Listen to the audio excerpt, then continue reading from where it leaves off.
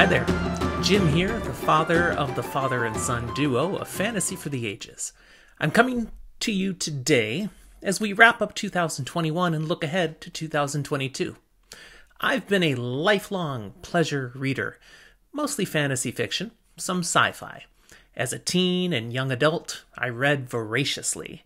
I remember summers just wanting to stay inside and read in my room, and my parents shooing me outside. You need fresh air, go play.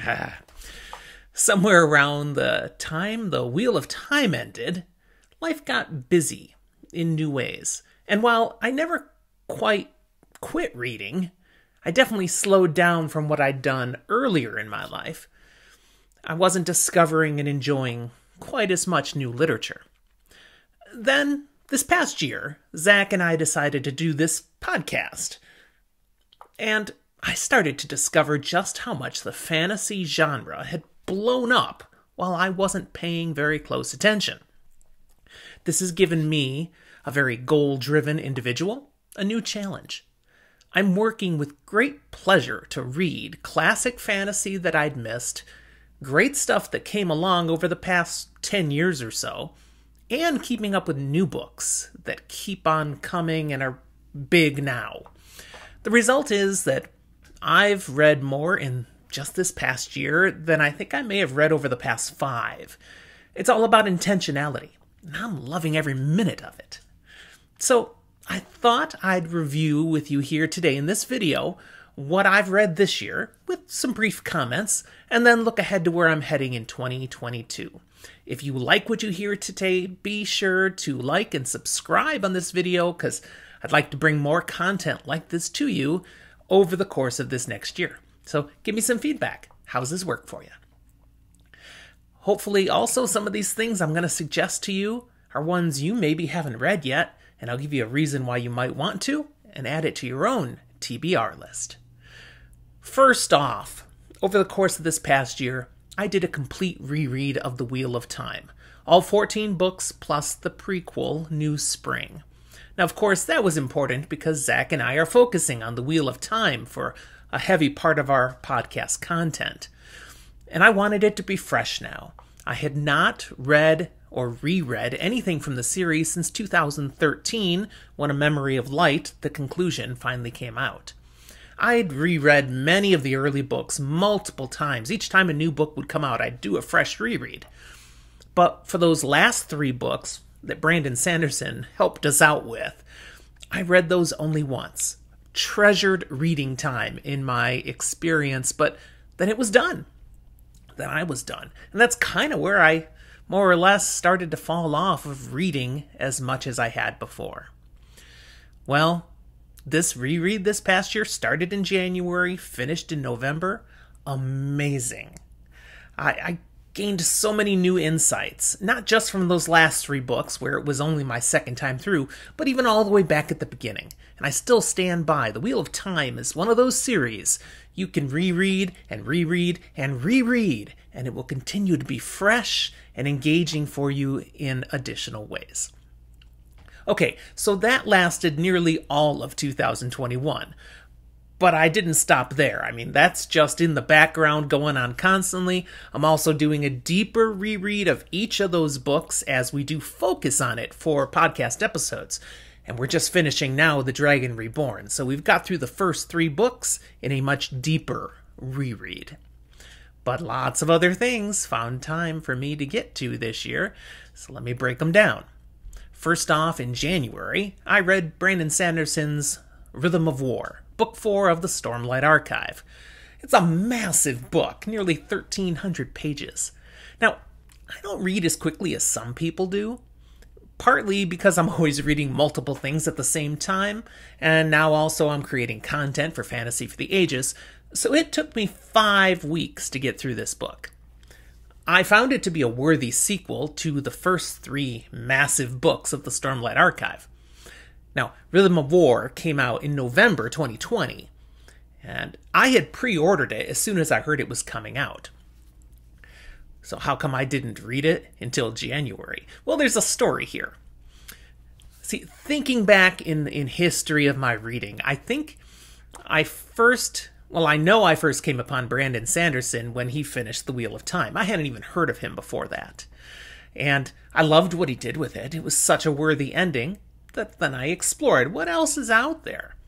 Well, I know I found Mistborn, uh, read the original Mistborn trilogy at that point, and later on went on to read the first two books of Era 2. I've got those done already.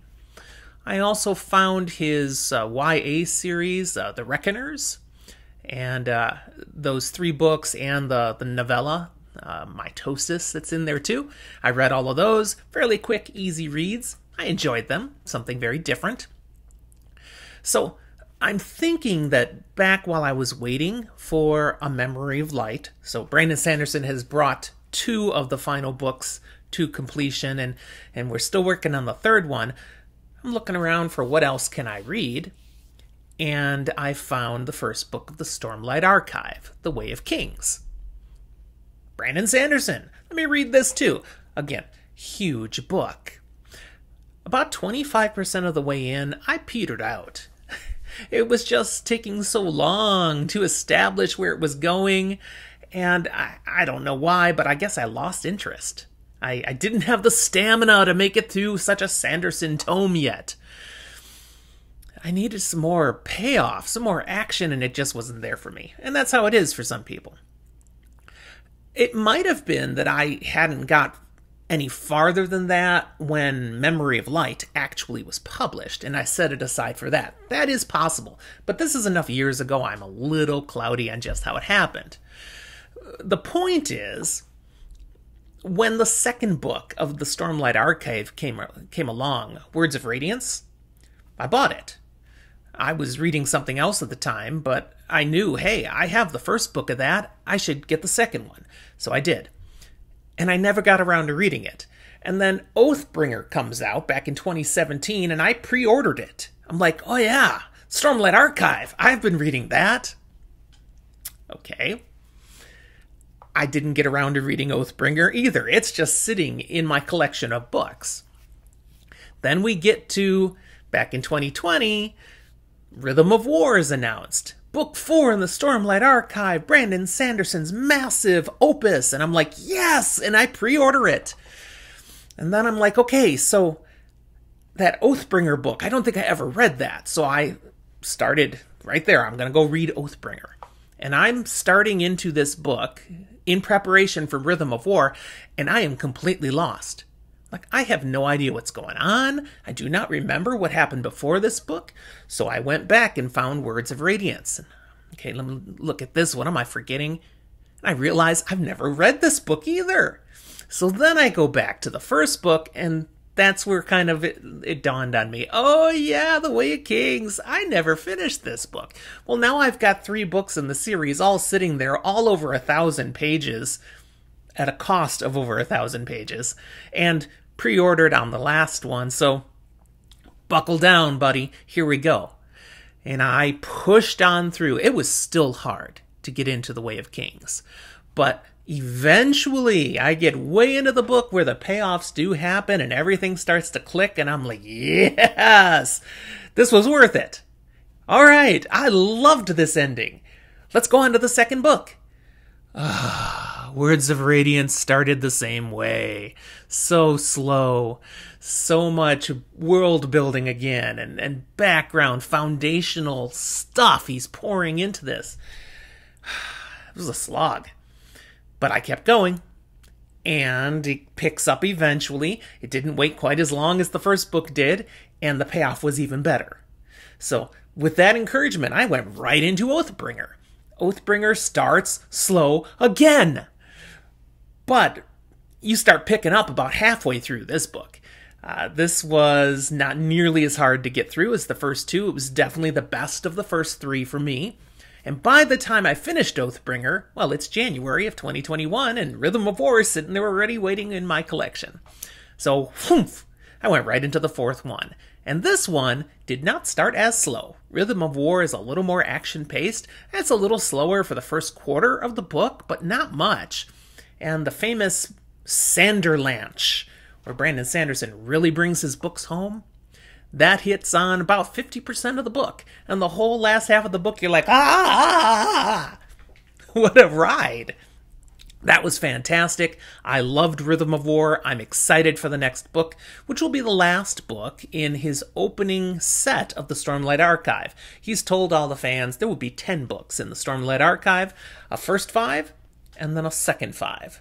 So we're excitedly waiting for the finish of this first half of the series, wondering where he's going to take this. It's a good ride. But I don't think that's coming out in 2022. I'm not sure about that, but I'm pretty sure that's going to take a little longer. I'm not expecting to get to read it yet this coming year. If you know I'm wrong on that, reply to the video and tell me what you've heard. I know I could look on his website, I just haven't got around to it. Partly because there's so much else to read and I'm not bored. So I did finish Rhythm of War, and then I'm like, okay, this is part of Brandon Sanderson's Cosmere books he's got a whole bunch of books in this universe he's created on all these different planets. And they are tied together in ways, a, greater, deeper story that's slowly being revealed. And I realized I'm missing some pieces here. I'd read Mistborn, that's part of the Cosmere, and of course, I'm working through the Star- Stormlight archive, but there are earlier things that are already out there I had not caught, so it was time to catch up on some of those. That was a 2021 goal. First off, here, I moved on to Elantris. It's a standalone book. Uh, it's not a very long read. I enjoyed it. It's got its own unique magic system. Uh, the story is not very long. It's easy to get into. Uh, definitely would recommend that to anyone. I was glad for the experience. And again, if you haven't read anything else Sanderson's done, Elantris is a great place to start, actually. Uh, you don't need the rest of the Cosmere books to make sense of just that story. But once you get the bigger context, then there's some deeper, richer meaning to it. That'll just be good when you go back for a reread. Well, with Elantris done, I still knew I had other Cosmere things to go to, but first I took a pause because there was another book I had pre ordered that was now sitting ready and waiting for me to read. And that was an epic conclusion to a long series uh, The Last Druid by Terry Brooks. This is the 33rd book in his Shannara books, and the fourth of the final uh, quadrilogy uh, called The Fall of Shannara. Terry Brooks wrote his first Shannara book, The Sword of Shannara, back in 1977. I found it in the mid 80s, early 80s sometime. And I'd gone on to read every Shannara book in existence since then. So, over a course of about 40 years, I've read a lot of Shannara. And here we were, finally, the last book, the conclusion to it all. So, with all of that in my background, it was a joy and a thrill to finish this series. Uh, I won't argue with people who say the Shannara books get a little repetitive over time, that he starts reusing themes, that some of it isn't as original as earlier parts of it were. Yeah, that's fine. I still enjoyed the books. I still found he brought in enough newness to the storylines to interest me. And I appreciated the tie ins in the later books to things from the past. He found really fun ways to keep it all tied together uh, in interesting and entertaining ways that I valued. So, thrilled to finish that one. After The Last Druid, I jumped back into the Cosmere to kick off March, reading Arcanum Unbounded, the Cosmere collection. Now, that's a, a novella and short stories that are drawn from various planets all around the Cosmere. So it, there's tie-ins to novels that are out there, as well as to a couple of planets in the Cosmere that he has not introduced to us any other way yet. There'll probably be novels eventually, but for now, we're just enjoying what he's given us. Uh, these little tidbits. I loved it. It was a great, uh, easy read to get through. Very unique. It filled in some holes on things like Mistborn and the Stormlight Archive, uh, and then just gave us fresh entertaining bits of knowledge from the rest of the Cosmere. So definitely recommend uh, Arcanum Unbounded, the Cosmere collection, if you're a fan of Sanderson and his Cosmere. After that, I moved back into another novel of the Cosmere, Warbreaker. Right now, a standalone novel uh, by Sanderson. I'd really been looking forward to this one. I'd heard good things about it and kind of was more interested in it than Elantris. But Elantris came first, and I'm kind of funny like that, so I felt I have to read Elantris. Now, Elantris and Warbreaker don't have a lot to do with each other, really. So you're okay to read either one in whatever order you want. But Warbreaker was fantastic. I really enjoyed it. Again, a great, unique magic system, engaging characters, some nice plot twists that kept me guessing. I really couldn't figure out where it was going uh, until some reveals at the end. It's not a super long read. Definitely recommend Warbreaker if you've never picked it up before. Okay, by this point, we've gotten through the first two weeks of April. And now I jumped into something completely different. Because I'm all caught up on the Cosmere, it's time to try something fresh. And I went into Joe Abercrombie's First Law trilogy. Now, this was my first return to the grimdark subgenre since I'd read oh, way back when all that exists and still exists for George R. R. Martin's A Song of Ice and Fire. Back then, I don't think we, we were even saying grimdark yet. But there are many authors writing excellent grimdark novels now, and Joe Abercrombie is right up there at the top. Uh, one of the many top examples. So, I went and read the first three, this First Law trilogy. It did not disappoint in any way. No one is truly good, no one is truly bad. There's a lot of gray all over the place, and no one is safe. You don't know what's going to happen to anybody. The best phrase connected to Grimdark that I've heard, and I feel is very true, is no good deed goes unpunished. Ah, uh, this is something that I would recommend to anybody if you are ready for something fresh. You've done a lot of classical fantasy, high fantasy, epic fantasy, and maybe you're starting to get a little bored. You want to know what else is out there. Try the First Law trilogy. It's gritty, it's dark, it's still got humor, it's still got engaging characters and a great plot to work your way through and figure out what the heck is going on. Uh, it's easy to keep reading you don't want to set the book down. Uh, but it is not traditional fantasy. Uh, it's got some elements that feel like traditional fantasy, but what you would have expected is not what happens.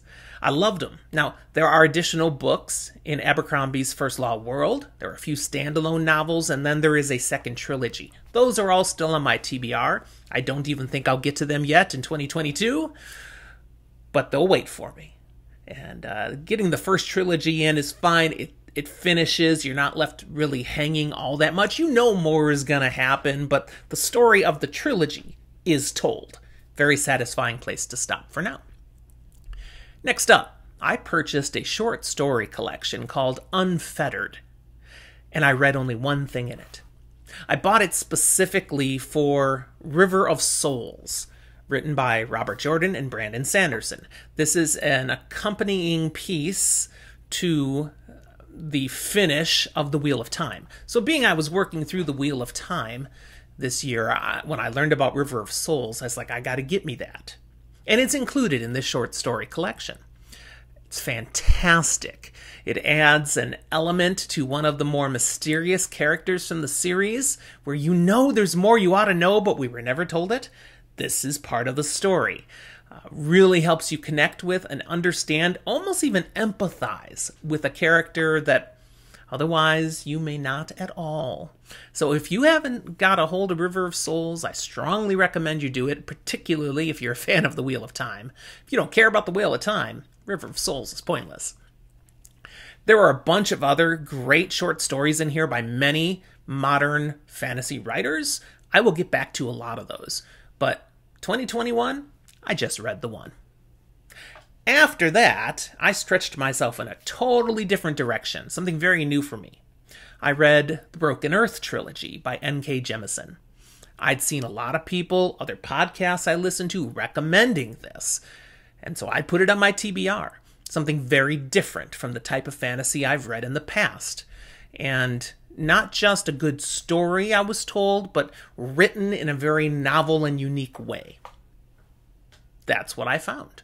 And in fact, it grabbed me so that I got through these three books, three whole novels, the whole trilogy in just two weeks. Just kind of plowed through them. Now, they're not as long as a Stormlight Archive book.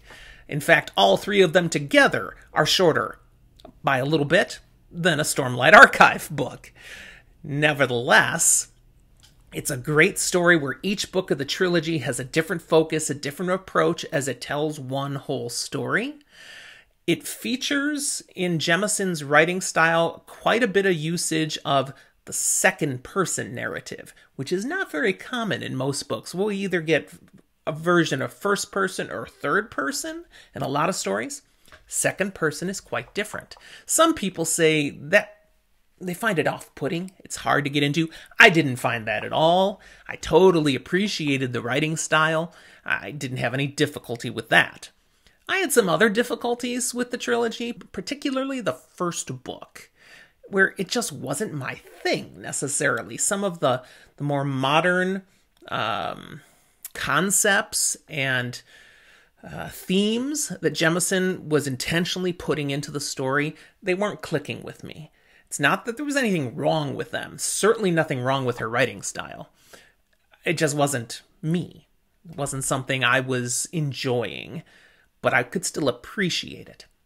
And while I've heard a lot of people say they find book one of this trilogy to be the best, for me, it was the hardest to read. It's critically important to understanding books two and three, but I enjoyed book two and book three more because I found it to be more of just a straightforward story, I think. We just got to see the rest of what has been foundationally laid out. Jemisin does some unique things, um, really intriguingly unique in book one, that most people I think will appreciate.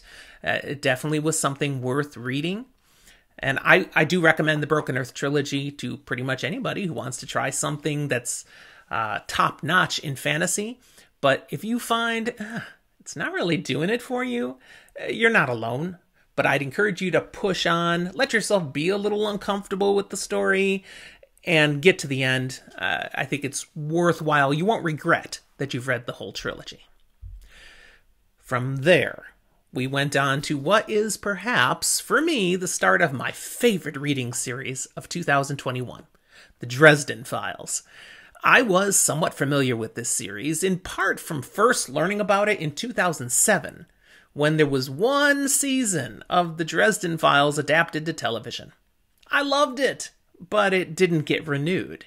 Darn it! It was great, I enjoyed it, the whole concept was entertaining to me, and I knew, okay, there's a book series out there this is based on, so I had some general understanding what that might be about and figured I should read it sometime.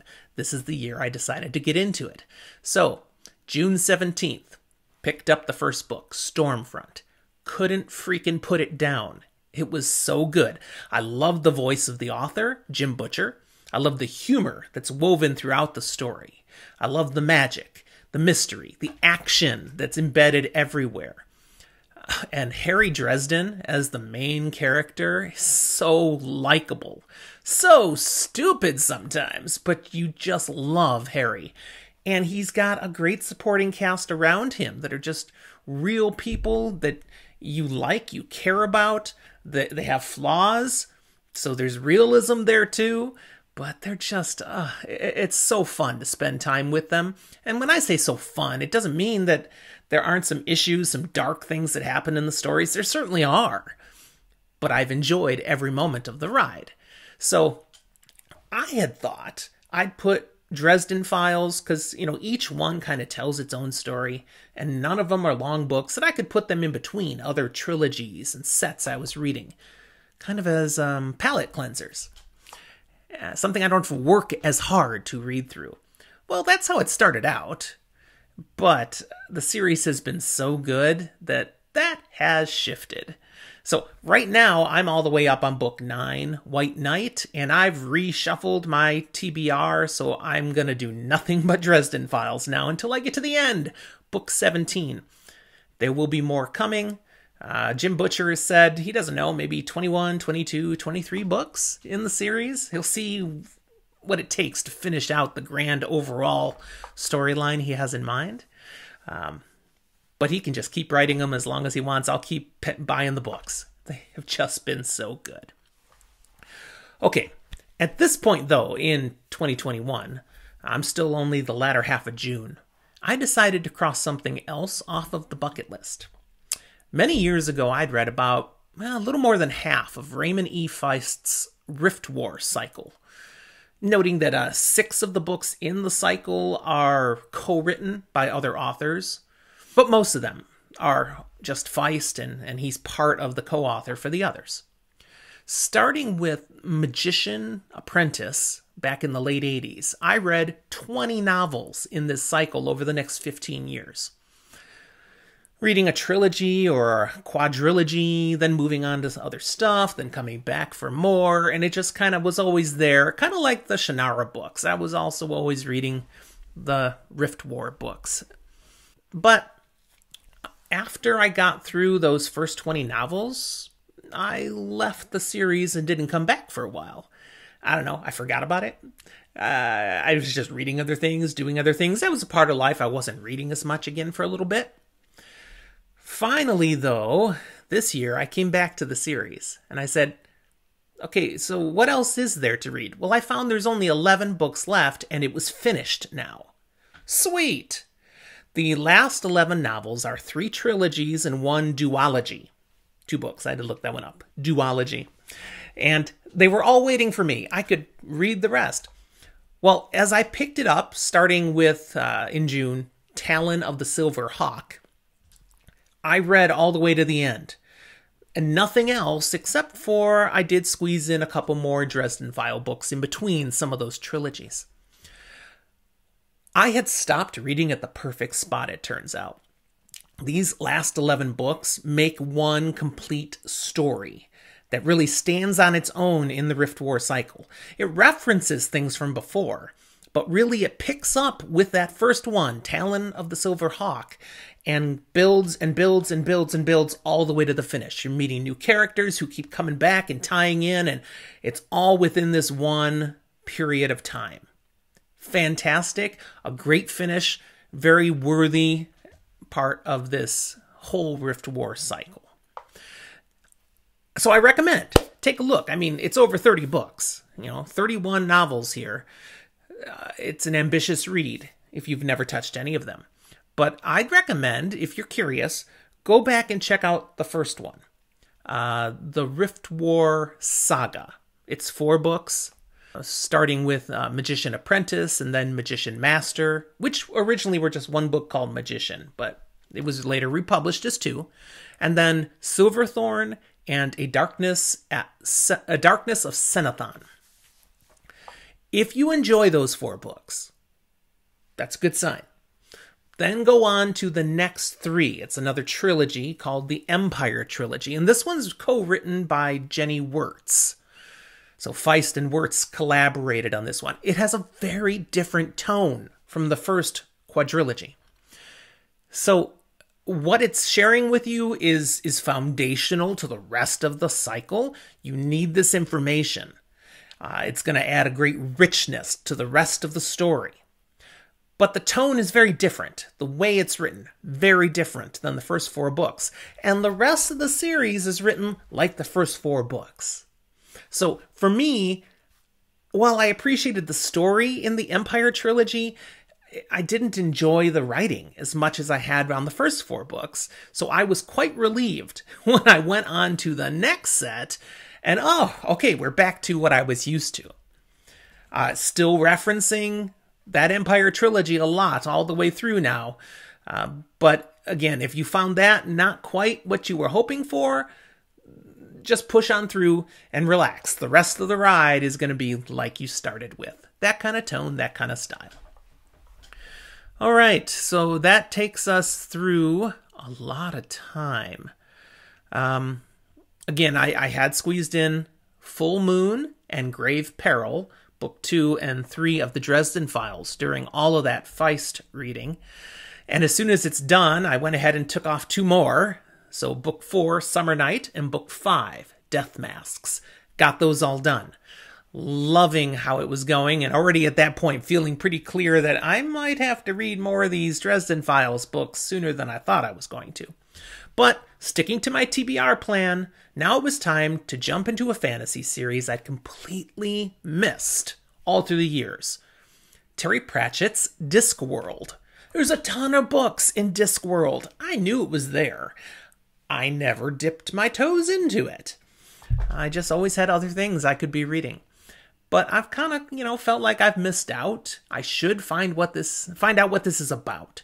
So, did a little research. It's kind of crazy as to what you should read or where you should start when you're talking about the Discworld books. It's not like one clear chronological tale.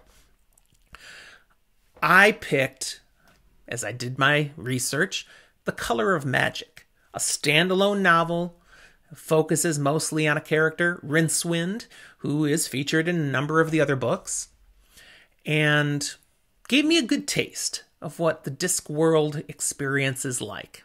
It is a very different type of fantasy from everything I'd read up to that point. It's a little meta, a little self aware, definitely somewhat quirky.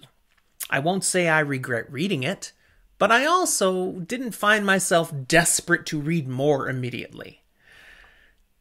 That's just one book, and not fair to judge all of Discworld based on only one. I will definitely get back to Discworld uh, eventually, but I do still have plenty of Discworld on my longer TBR.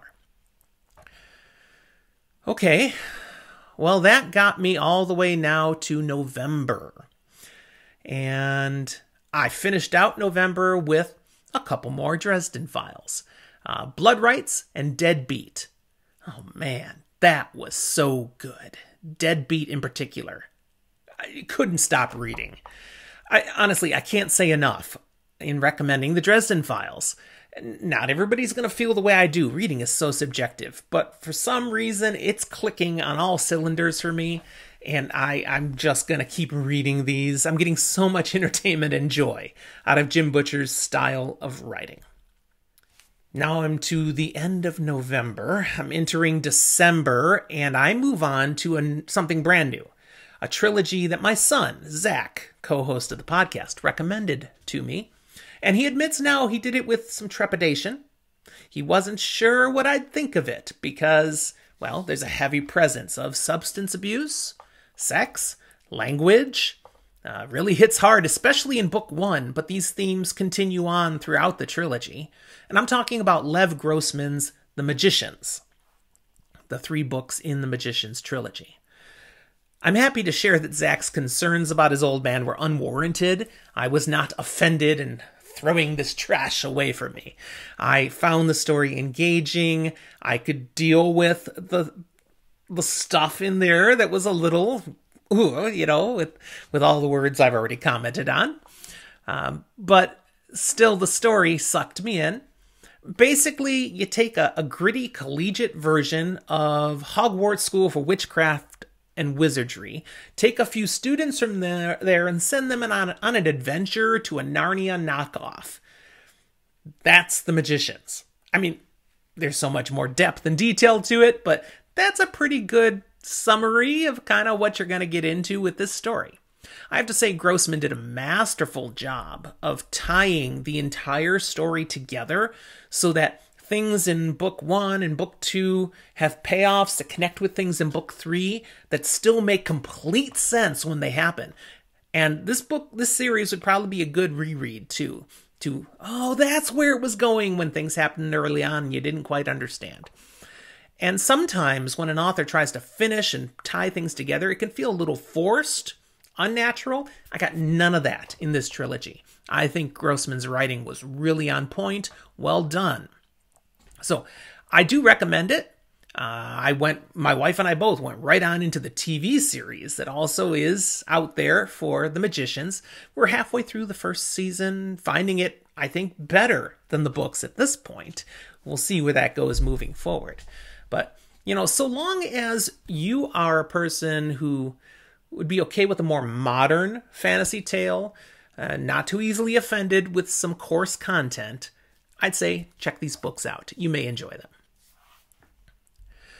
Now, at the same time that I was reading the Magician's Trilogy, I had finished my Wheel of Time reread, which I was doing with audiobooks. So now I had an opportunity to pick up something else off my TBR in audio format. So when I'm out on my exercise, I'm driving places, and I can't be reading a book, I can still be listening to a book. And I chose to go with a five book series that's been around a long time, and I just never got around to the epic fantasy The Belgariad by David Eddings. Classic high fantasy, and, you know, I'm just enjoying it in a very nostalgic sort of way. There's nothing uh, that is groundbreaking in this. It's very tropey, but it's from a time where these things weren't so tropey yet. Uh, I'm not finding anything challenging me in these books. It's like comfort food. I can relax and I can enjoy. Everything feels a little familiar. Um, back to my early days reading the genre. So if you want more modern and groundbreaking, stay away from the Belgariad. But if you want to fill in some background of some classic epic fantasy, you might enjoy it. And that brings me to today where I knocked out Book 8 of the Dresden Files, proven guilty in just three days, and have moved right on to Book 9, White Night. There's no stopping now. I'm 100% committed that the first of 2022 is to finish the rest of the 17 Dresden File books that are out there. But what else might I be able to fit in? Well, let me spend some time talking about that. Not nearly as much now, because these are things I haven't read yet. So, moving on into 2022, I'll finish the Belgariad, and then I'll move in audiobook version into Mistborn Era 2. The first two books there, The Alloy of Law and Shadows of Self, I've read already. So I think they'd be good on audio now for my reread. But then I'll pick up a physical copy of The Bands of Mourning. Never got around to that one. And that way I'll be ready well in advance of the final book of the Era 2 of Mistborn, which is The Lost Metal, announced to be coming out in November of 2022. So I'll be fresh and ready for that one. After Mistborn, getting that copy of the Bands of Mourning read, I'm going to move on for my physical reading into The Expanse. Now, this will probably be the biggest series that I'll read in 2022. It's been heavily recommended by one of our Discordians, and it's a definite shift from much of what I read in 2021, so I'm looking forward to that. Plus, there is a TV series well acclaimed out there on The Expanse, and I want to watch it, but I don't want to watch it until I read the books. So I'm going to get these books taken care of in 2021, and the series will be waiting for me. Something I particularly like about reading The Expanse now is in 2021, the final book of the series was published. So it's done. I love when I can read something, I can start it knowing the finish is waiting for me, because George R. R. Martin still has me with issues. I want something to be done and I want to know it's going to be worth the experience. I have complete confidence, based on recommendations, that The Expanse will not disappoint. While reading The Expanse, I imagine I'll have some more time for audiobooks. So this is where I figure actually I might dip back into Discworld. Again, I'm not sure how fast I'll get through some things, but there's a chance that I'll go and check out more of the Rincewind series of books. There are six of those, starting at Light Fantastic and going through Unseen Academicals. So those might make it into my audio reads. A little lighter fare. I, I think I could I could do that. If I get through all of what I've described, and I truly hope I do, then the next things that I'll move on to in actually physically reading are the Riyria Revelations, and then flowing right into the Riyria Chronicles, all by Michael J. Sullivan. Uh, Chronicles isn't done yet, so okay, I'll be committing to a series that I can't read the finish of yet. And the author yeah, he's got more to come, and he doesn't even think he'll have another one out in 2022. But that's okay. If it if they're as good as people have told me, yes, Emmeline, I'm talking to you, then uh, I think I'll be okay with that. Now, finally, if I get through all of that so far, and that would be about as much as I read in 2021, I've got some stretch goals. maybe I'll get just a little farther in 2022. So, next up would be a fairly short trilogy, the Wayward Pines trilogy by Blake Crouch. Uh, that has been recommended to me. After that, Zach wants me to read the Witcher series, and I'm loving the TV show, so why not? I don't think I'll ever play the games because I'm horrible at video games, but I might have to finish the set. Who knows? But The Witcher, definitely looking forward to get to those by Andrzej Sapkowski. I probably mangled his name. The last thing that I've thrown at the very end, maybe I'll get to it in December, is the Fionavar Tapestry by Guy Gavriel Kay. That's some more classic fantasy that's been rec- recommended to me by a few different people, uh, particularly our Discordian Jordan. So uh, I've heard a lot of good things. I know I'll enjoy it. I've put it on the list for 2022. Now, if I get all of that done, that's 64 books. And one of those, two, maybe three of those are going to be some short story collections, so not as big, but it's a big goal. I will be highly entertained trying to get through it all. I mean, what a good thing to do to see how much fantasy and science fiction a person can read in a year. Not rushing it, just trying to find the time to enjoy the reading. I'm never feeling pressured with reading. It's something that it's just always a pleasure to do. And because I'm not pressured, I may not get through as much as some other people do, but I don't face reader burnout. Works for me. That's where I'll wrap up for this video. I hope you also have high hopes for what you're going to read in 2022 throughout the world of fantasy and sci fi literature. Maybe some of the things I've shared here from 21 or what I'm looking ahead to in 22 has inspired you to add some things to your to be read list for this coming year. Be sure to like and subscribe here on our YouTube channel and follow us over on Twitter, and you'll be able to see how we're doing as we work through books, both Zach and I, in this coming year, and we'd love to hear your experiences as well. Anything you have to say about the books we're reading, as well as sharing what you are finding, my TBR keeps getting longer because of people telling me what they've discovered and loved, so thank you for anything you'll share. I'd especially invite and encourage you to join us on Discord, and there is a Discord invite link down in the show notes for this video. That's where you can get together with a bunch of like minded people who all love these kinds of stories and talk about them. And talk about other things, and just be goofy together. We have a great community on Discord, and you are welcome to be a part of it. Bunch of good people, bunch of good fun. All right, thanks for listening. I hope you enjoyed and valued the video. And in the traditional way we always end our podcast, I'll just say that I'll talk to you next time.